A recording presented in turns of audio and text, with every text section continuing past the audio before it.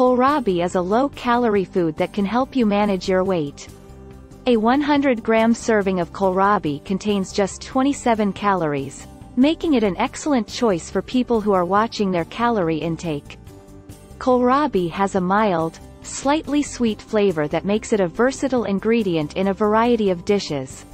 Kohlrabi is high in fiber, which can help regulate digestion, reduce constipation, and promote overall gut health.